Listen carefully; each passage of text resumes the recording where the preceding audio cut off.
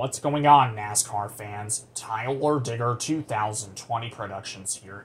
And before we go over the updated 2023 NASCAR Cup Series playoff standings after one race in the round of eight, I have some exciting news for you guys.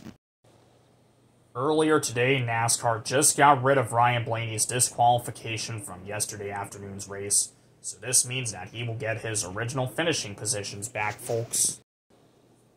Alright, now we can take a look at our updated 2023 NASCAR Cup Series playoff standings after one race in the round of eight.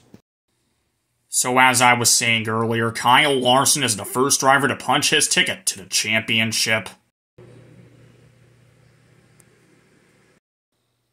And here's who's joining him as of right now. We have Larson's teammate William Byron, Denny Hamlin.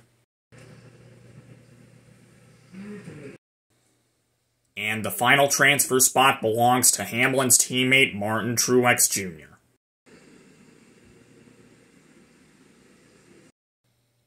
Here's who's in danger of being eliminated as of right now. We have Truex's teammate Christopher Bell.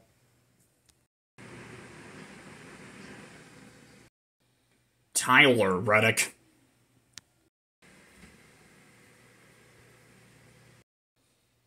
Ryan Blaney, who I just mentioned earlier.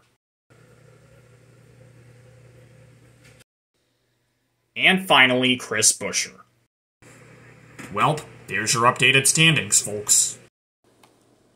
Well, we're out of time for this video. Thank you guys so much for watching. And hey, if you enjoyed it, please don't forget to like, comment, and of course, subscribe to my channel. And also, if you guys are new here, just click on that notification bell never ever miss a single upload.